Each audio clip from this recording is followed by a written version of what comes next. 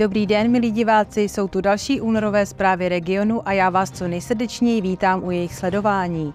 Tentokrát mimo jiné uvidíte. Zastupitelé města Česká Třebová rozhodli o novém provozním modelu místního krematoria. V rehabilitačním ústavu v Brandýse nad Orlicí byla slavnostně otevřena nová robotická tělocvična. Na šest desítek středoškolaček soutěžilo v Lunch Crowně při Caliber Cupu o nejlepší účest, body art, nail art a make-up. První rozpočtová změna roku 2024, nový provozní model krematoria, dotace nebo výjimky z nočního klidu pro některé akce byly mezi body, které na svém prvním letošním zasedání projednávali zastupitelé města Česká Třebová. Jak už je zde zvykem, místem jednání se stala studovna Městského muzea. 25 přítomných zastupitelů České Třebové se zabývalo první letošní rozpočtovou změnou, kdy na straně příjmu dochází ke snížení nájemného tenisové haly o 210 tisíc. Ve stejné výši je snížena dotace tenisovému klubu na úhradu nájemného. Ta byla po diskuzi schválená. Zelenou dostal nový provozní model krematoria. Ten provoz se nijak zásadně nezmění. Jde v podstatě o to, že eh, jsme eh, současným eh, usnesením schválili to, že ten provoz může být v průběhu eh, pracovního, pracovních dní. Diskuze se rozhořela ohledně revize záměru prodeje pozemku v lokalitě Borek. Ta schválena nebyla, stejně jako nakonec jejich prodej. Vydána byla obecně závazná vyhláška o době nočního klidu stanovující případy, kdy je tato doba kratší. Ty výjimky jsou prakticky totožné jako v předchozích letech. Pouze dvě akce jsou nové a to eh, letní akce, konkrétně jednu pořádá Městské muzeum. To letos připravuje oslavy dvou výročí v rodině Stránských, kteří skonstruovali Velorex. Další akcí je Boost Summerfest. Schváleno bylo uzavření dohody o narovnání, která se týká současné rekonstrukce malé scény. Jedná se v podstatě o to, že eh, dodavatel, který dodává stavbu, tak měl ve smlouvě smluvní pokutu, která se v současnosti upravila. Důvodem je nedodání díla v termínu, který byl dodatkem číslo 1 stanoven na 22. prosince loňského roku. Zastupitelstvo schválilo poskytnutí dotace ve výši 708 tisíc na realizaci týdne sportu. Dále 300 tisíc a to na provoz rodinného centra Rosa a 250 tisíc na podporu činnosti spolku Triarius, který provozuje například klub Modrý trpaslík. Schválena byla i dotace pro TJ Lokomotiva v celkové výši 1 50 tisíc korun za účelem úhrady nájmu krytého plaveckého bazénu a ledové plochy zimního stadionu v tomto roce. Rozhodnuto bylo o poskytnutí dotace Orlickou-Steckému červenému kříži na provozování senior dopravy ve výši 450 tisíc. Velkým plusem je i to, že to funguje jako prevence proti sociálnímu vyloučení seniorů, kteří by si netroufli eh, sami se pohybovat po městě a tady mají jistotu, že jim někdo pomůže. Zastupitelé rozhodli o udělení čestného občanství města místnímu rodákovi a patriotovi Josefu Zavřelovi. Se svými podněty přišla také veřejnost. Termín dalšího jednání zastupitelstva je stanoven na pondělí 15. dubna. Každé úterý a pátek v premiéře od 18 hodin a poté v repríze každou další hodinu k vám má spravodajská relace zprávy regionu nejblíž. Sledujte OIK TV a budete vždy vědět, co se děje kolem vás. Rehabilitační ústav Brandy nad Orlicí se chlubí novou unikátní robotickou tělocvičnou. Ta už slouží pacientům se získaným poškozením mozku. Tělocvičnu se 16 speciálními přístroji se povedlo pořídit za více než 16 milionů korun. Sportovní areál u Českotřebovské základní školy Ústecká je už delší dobu ve špatném technickém stavu. To byl také důvod, proč se radnice rozhodla pro jeho rekonstrukci. S financováním měla pomoci dotace z Národní sportovní agentury. Bohužel jsme v této výzvě neuspěli. Žádost podávalo 178 měst České republiky a vybráno bylo 11, ale bez nás. Přestavba sportovního areálu i nadále zůstává pro město jednou z priorit. Už letos má být Národní sportovní agenturou vypsána další výzva s lehce upravenými parametry. Znova budeme usilovat o získání této dotace a zatím z vlastních prostředků se hřiště financovat nebude, ale rozhodně se tím budeme dále zabývat, protože jak hřiště, tak i tělocvičná na ZŠ Ústecká nejsou v dobrém stavu. Nová výzva by měla být vypsána se začátkem jarních měsíců. Tím pádem by uzavření mělo být někdy květen, červen, takže výsledky bychom měli vědět během prázdnin. Co se týče tělocvičny, tady by každým dnem mělo být zahájeno výběrové řízení na zpracovatele projektové dokumentace. Město Česká Třebová neuspělo se žádostí o dotaci na rekonstrukci sportovního areálu u základní školy Ústecká. Není ale všem nadějím o dotaci konec. Národní sportovní agentura na jaře plánuje vypsat novou výzvu. Radnice věří, že tentokrát bude v dotačním řízení úspěšná. V rehabilitačním ústavu v Brandýse nad Orlicí proběhla slavnostní událost. Otevřela se zde zbrusunová robotická tělocvičná. Celkově jsme pořídili 16 přístrojů vlastně z toho IROPu, to je vlastně Národní fond obnovy a je to za více než 16 milionů korun. Vybavení moderními zařízeními pro rehabilitaci pacientů je prvním krokem pro registraci ústavu do kranioprogramu. Velmi vítám, že se rozšiřuje činnost také na tzv. kranioprogram, to znamená eh, pro pacienty, rehabilitaci pacientů v rámci tzv. intenzivní rehabilitační eh, péče, která navazuje na tzv.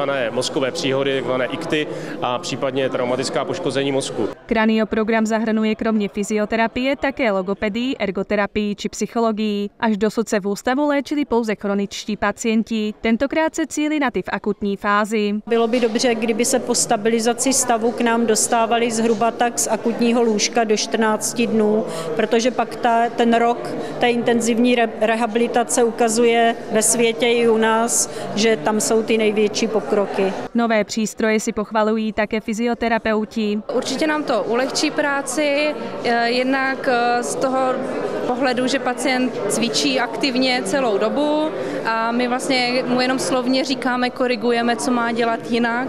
Přístrojové vybavení se bude letos ještě rozšiřovat. Z evropských zdrojů bude na pořízení čerpáno 17 milionů korun. Díky tomu se tato tělocvična stane jednou z nejmodernějších v republice. To, že Kranio program jako takový bude poskytován ještě během letošního roku, tak to je určitě zásluha eh, vedení a zaměstnanců. Eh, každopádně máme zde i dlouhodobý projekt a to je rozšíření areálu o další pavilon. Aby tady vznikla jedna multifunkční budova s novými cvičebnami a vlastně s jedním oddělením 20 lůžek, kam bychom vlastně tyhle pacienty nastěhovali a celkově lůžková kapacita ústavu by se zvýšila asi na 209 lůžek. Hotova je už studie. Na jaře by měly odstartovat práce na projektové dokumentaci. Pokud vše půjde dobře a najdou se finanční prostředky, tak bychom mohli eh, začít realizovat i nový pavilon vyloženě pro kranioprogram eh, během následujících dvou až tří let. Náklady na přípravu a realizaci stavby se zatím odhadují na 382 milionů korun. Vedení Pardubického kraje se sešlo na skalce v České Třebové se zástupci měst a obcí z okresu Ústí nad Orlicí a Svitavy. Řešila se zejména problematika rozpočtového určení daní pro kraje nebo doprava spojená s rekonstrukcemi krajských silnic.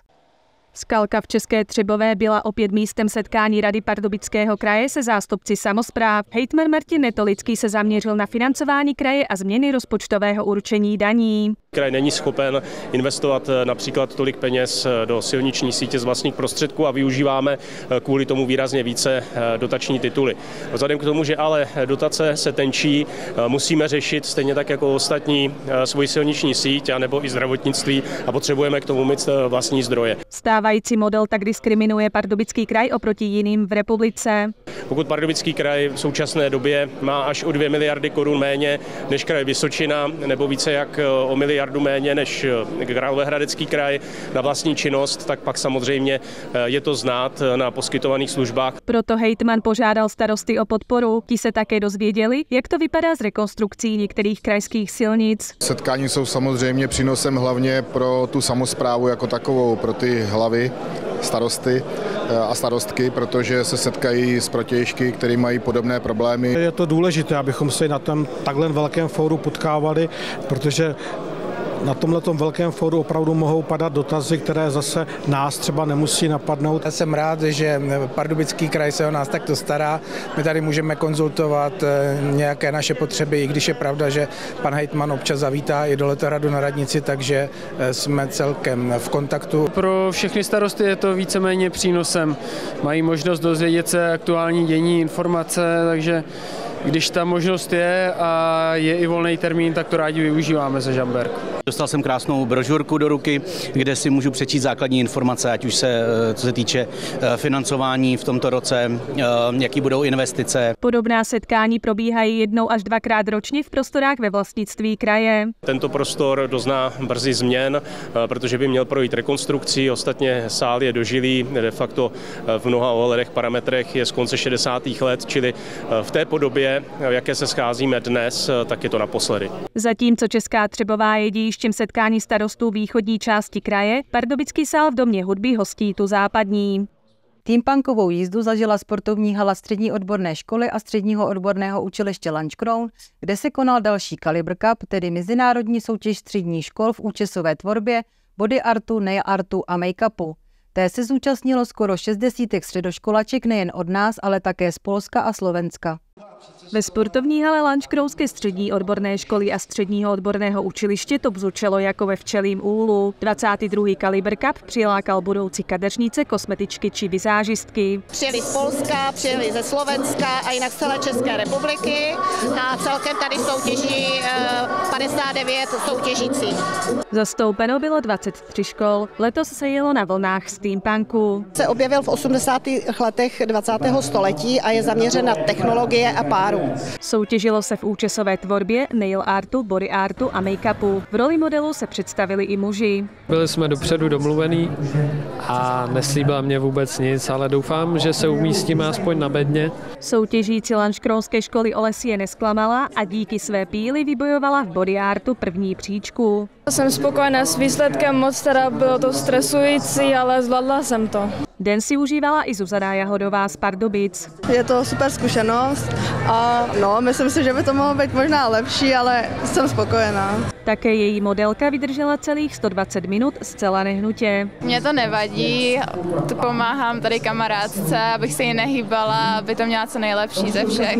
V nail artu stejně jako v body artu poměřila síly šestice soutěžících. Pro Nikolu Hejnovou z místní školy byl inspirací internet. Potom jsem si to jakoby nějak pospojovala v hlavě a hlavně ten podklad jsem celý překopala teď minulý týden a udělali jsme si to tak, jak jsme chtěli. Její práci ji vynesla první místo. Vedlo se i Nikole Taušové z Brna. Jsem naprosto spokojená, pracovala jsem na tom delší dobu, takže jsem ani neměla větší jako očekávání o tom, že bych jako něco pokazila. Také kadeřnice vytvořili dechberoucí umělecká díla. Spokojná som, že ta tréma je tu obrovská, prostě ten stres a ta hudba, všetko prostě, je to úplně jiné, jako jsme si trénovali. Bylo to hodně stresující, ale jinak skvělý zážitek. Bylo to náročné, já jsem na to vůbec byla připravená, necítila jsem se na to připraveně. Nejlepší účast vykouzlila Eliška Gavelková z Hronová, kategorii make-up ovládla Natálie Vlčková z Havířová. Program zpestřila modní přehlídka od Lidskoustecké střední umělecko-průmyslové školy.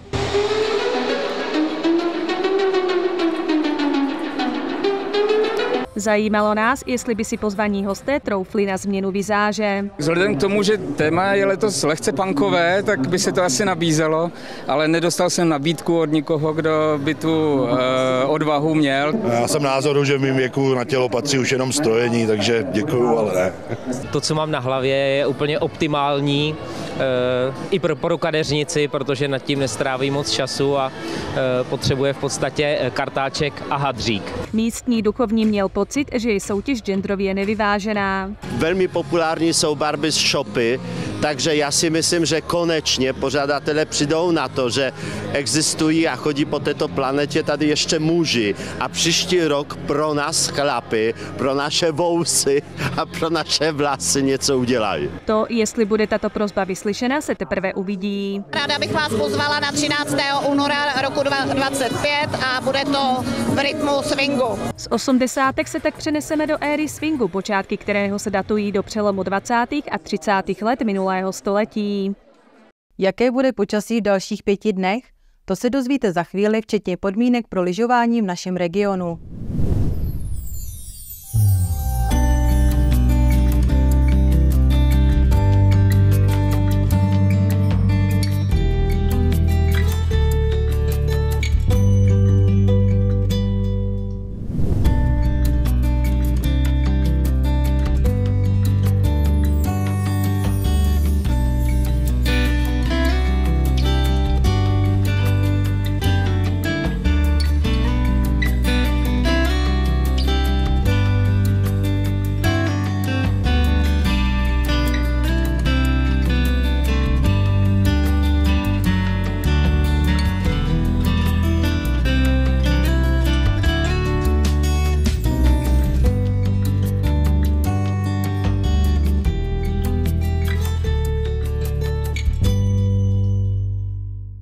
To je pro tuto chvíli vše. Děkujeme za pozornost a budeme se na vás těšit opět v pátek. Do té doby nashledanou.